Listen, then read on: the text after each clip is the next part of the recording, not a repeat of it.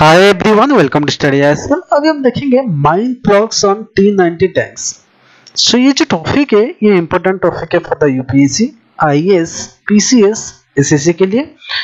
सो so, इसके यहाँ पे जो है दो चीज़ें एक तो हो गया माइन प्लॉक्स है और एक टी नाइनटी टैंक्स है. पूरा डिटेल्स में ये दोनों के बारे में हम देखेंगे. सो so, आप ये जो फ़ोटो देख रहे हो एक टी नाइनटी टैंक है.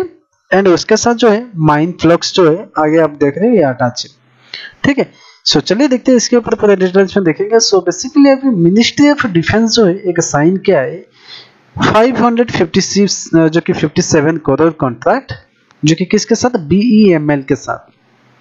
ठीक है? सो इसका जो फुल फॉर्म है, भारत अर्थ मूवर्स लिमिटेड।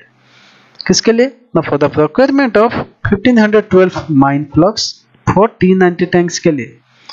1512 जो कि माइन फ्लॉक्स है टी नाइनटी टैंक्स के लिए अभी प्रोक्योरमेंट कर रहा है। इसका जो कॉस्ट है, जो कि as per the contract sign हुआ है 557 करोड़ से। सो ये जो इंडक्शन होने वाला है, जो कि 2027 तक कंप्लीटेड होने का एक्सपेक्टेड किया जाता है। टी नाइनटी टैंक के बारे में देखेंगे। ये जो एक रशियन जो कि ओरिजिन है टैंक है, जो कि इंडियन आर्मी अभी मेन बैटल टैंक के तौर पर यूज़ कर सो इंडियन आर्मी अभी रिसेंटली जो है डिप्लॉयड किया है, ये जो टी नाइनटी टैंक है कहाँ पे? नगलवान वैली में सेक्टर में लद्दाख में।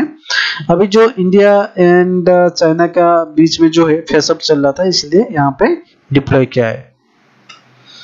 सो माइन फ्लॉक्स क्या है? माइन फ्लॉक्स ये होता है जो कि help tanks to clear the जो कि mine fields and minimize the risk to the man and machine so इसको देखेंगे, जो दुश्मन रहता है, वो क्या करता है? ना माइन से बिछा लेता है। सो माइन से बिछा देगा तो वो पता नहीं चलेगा। और जैसे ही man man and materials machines ठीक है, बहुत सारा जो है डिफेंस का, वो लॉस होता है। उसको अवॉइड करने के लिए ये माइन फ्लक्स को, जो कि एज फॉर द कंट्रैक्ट खरीद, खरीदा जाएगा बाय द 2027 तक।